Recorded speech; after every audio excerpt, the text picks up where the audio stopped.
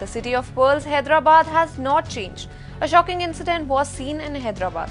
A minor girl from Hyderabad has been married off to an elderly sheikh who is 65 years old. A girl is only 16 years old.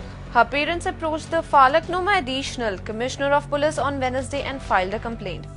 The teenager's parents have been pleading the authorities to help them bring the girl back from Muscat, where she was taken after marriage. In her complaint, the teen's mother, Unisa, claims that her sister in law colluded with her husband Sikandar to fudge documents with a Qazi's help. Without her knowledge, they performed her daughter's nikah with the elderly sheikh. The mother also allegedly that for this marriage, the Omani sheikh paid rupees 5 lakh to Sikandar.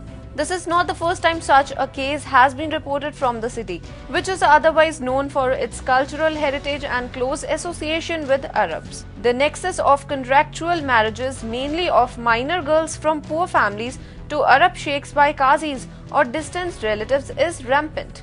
These sheikhs come to the city to find suitable brides after paying amount ranging from 10,000 to lakhs of rupees.